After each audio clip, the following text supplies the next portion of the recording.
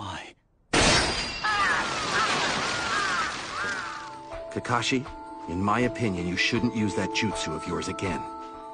It's still an imperfect jutsu.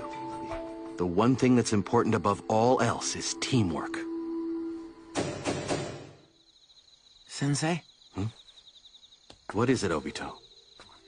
What I mean is, I might have been born into the elite Uchiha clan, but I'm still just a failure. Kakashi's father is Sakumo Hatake, the genius ninja feared as the White Fang of the Leaf. You know, come to think of it, I've heard of him before. He was that hero who died while protecting the village. At least they did until that incident. Incident? Kakashi's father, Sakumo, took his own life after he was vilified by everyone around him. Either save the mission or his comrades.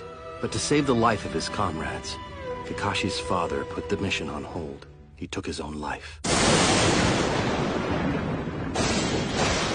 He's devoted himself to the laws and regulations of the village. Even just a little. Kakashi really does mean well.